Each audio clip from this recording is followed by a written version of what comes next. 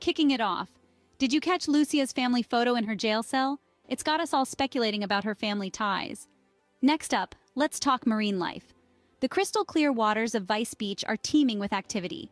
Turtles, sharks, dolphins, and yes, even flying ducks are making a splash.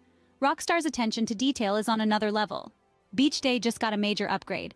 Check out the NPC beachgoers, soaking up the sun and engaging in various activities. From sunscreen application to capturing those epic beach moments on video, the NPC AI has definitely leveled up. Now let's talk about a feature we've all been hoping for, pets.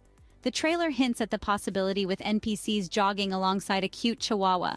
Could this mean a furry companion for players? Fingers crossed. Last but not least, the criminal underworld is buzzing. The trailer hints at three main gangs making their mark in Vice City. We've got the Thrillbilly Mud Club, the High Rollers Streetcar Racing Group, and an unnamed biker gang. And there you have it. Five things you might have missed in the GTA 6 trailer. Did any of these details blow your mind? Let me know in the comments below. Smash that like button and I'll catch you in the next one.